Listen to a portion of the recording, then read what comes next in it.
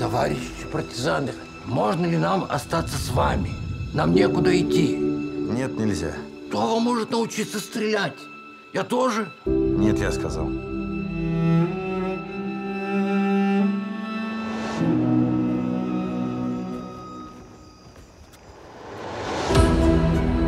Товарищи евреи, вас собрали здесь всех вместе, чтобы провести по немецким тылам и вывести за линию фронта.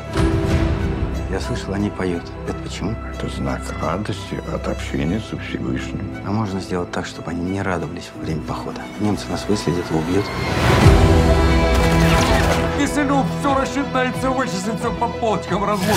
А вы шахматист? Нет, я экономист. Есть такая информация, пойдут на нас не зундеркоманда, которая в деревнях, а регулярные войска.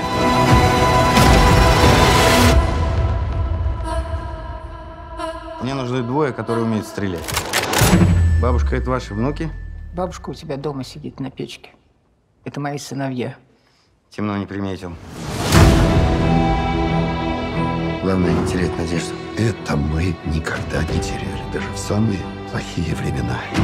А как будет жених по-еврейски? Хочу на тебе жениться. Хочу стать твоим хусом. Уводи их вглубь леса, а потом вдоль реки.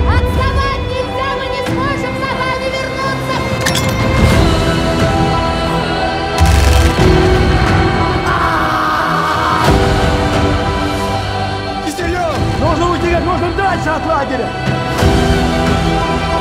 Мы за нее все погибаем. Она ребенок, она не понимает. Когда страшно, нужно думать о чем-то хорошем. Их задача в том, чтобы выжить и дойти. И выбора нет. А шанс есть.